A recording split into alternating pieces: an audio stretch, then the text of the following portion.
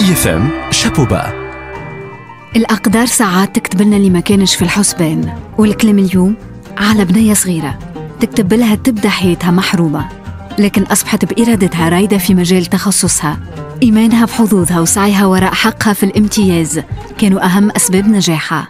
نحكي لكم اليوم على البنية اللي عملت من الصعوبات حافز لتحقيق أحلامها. الكلام اليوم على توحيدة بالشيخ. نهار 2 جان تولدت توحيدة بالشيخ في واحدة من أكبر عائلات راس الجبل التابعة لولاية بن زرد. أمها كانت تنتمي لعائلة بن عمار المعروفة في العاصمة بالعراقة والثراء. لكن فقدت توحيدة في عمر صغير اللي أهم من فلوس الدنيا الكل. فقدت ولدها. عاشت توحيدة بالشيخ مع أخواتها لولاد الزوز وأمها اللي كانت حريصة باش تقدم لأولادها أحسن سلاح يواجهوا به الدنيا. التعليم. كيما البنات كيما الأولاد.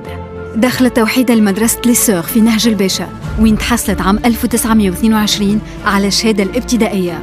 بعد واصلت دراستها الثانوية في lycée Armand Fallières وتحصلت عام 1928 بامتياز على شهادة البكالوريا.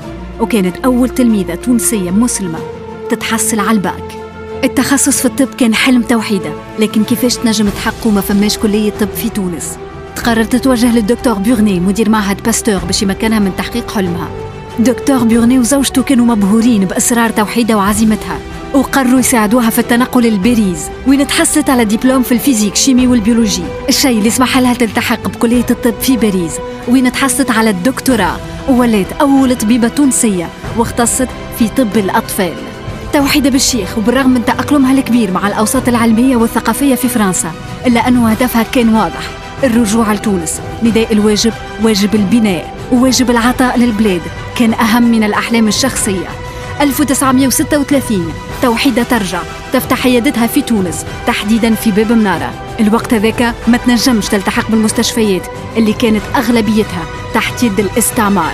عام 1955 قريب الاستقلال يتم تعيينها على رأس قسم الولادة بمستشفى شارل نيكول بمدينة تونس. عام 1970 تتحمل مسؤولية تاريخية في إرساء التنظيم العالي. واحد من أكبر رهانات البلاد وقتها. مدة صغيرة من بعد تتنقل على رأس قسم الولادة في مستشفى عزيزة عثمانة حتى سن التقاعد عام 1977 توحيدة بالشيخ كانت امرأة علم لكن زاد امرأة قلبها كبير وقدمت من غير حساب أسست أكثر من جمعية كما جمعية الإسعاف الاجتماعي وقت الحرب العالمية الثانية. الجمعية اللي كانت وراء بناء دار أيتام عام 1950 نفس العام اللي أسست فيه زادة جمعية القماطة التونسية للعناية بالرضع من أبناء العائلات المعوزة. وكانت عضو مؤسس في إقامة لجنة الإسعاف الوطني. ومع هذا الكل توحيدة بالشيخ.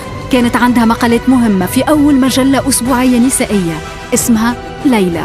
توفت توحيدة بالشيخ نهار 6 ديسمبر 2010 ورحلة حياتها أثبتت أن الحرمان دافع لمواصلة الكفاح. أن الواجب تجاه البلاد حلمة نبيلة تستحق أنك تدافع عليها عمر كامل. هذه توحيدة بالشيخ.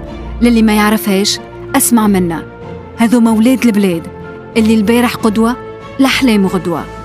شابوبا توحيدة بالشيخ. يفهم شابوبا